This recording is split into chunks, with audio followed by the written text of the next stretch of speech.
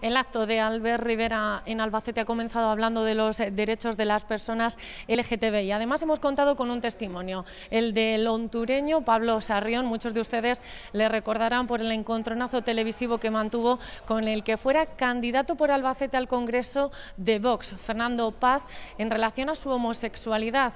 Aseguraba Sarrión, Ciudadanos es el único partido que le representa capaz de defender sus derechos en el gobierno nacional. Un acto que ha estado conducido por la candidata regional albaceteña Carmen Picazo. Además, Albert Rivera asegura que vendría a Albacete a hacer campaña con la candidata regional y se ha definido un político liberal.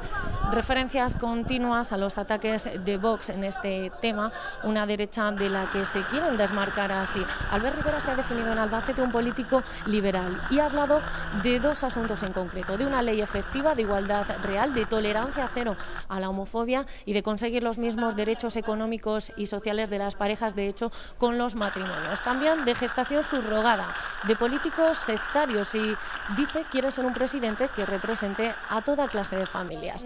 En una segunda parte, Albert Rivera también ha hablado del acoso escolar y anuncia en Albacete una medida. Propone que se prohíba el uso del teléfono móvil en las aulas.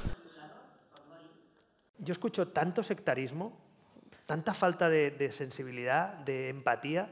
Escucho a políticos tan sectarios pero me da igual en dónde estén, porque escucho a políticos, me da igual si son de la izquierda o de la derecha, que dicen lo mismo, que son igual de sectarios.